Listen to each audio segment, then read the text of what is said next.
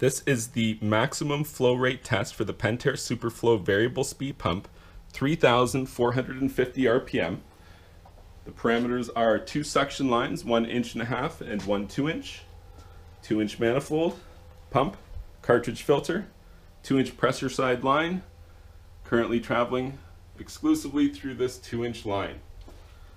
So again, this is going to be a maximum speed, 3,450 RPM, and we're going to take a look at the flow rate and electrical consumption for this pump under this test. Now this is going to be loud, so go ahead and turn down your speakers.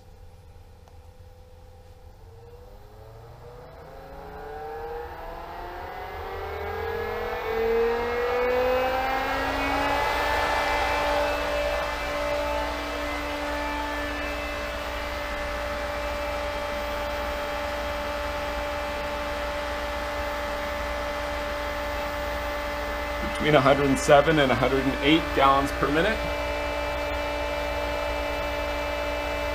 2.31 kilowatts, 10.4 amps.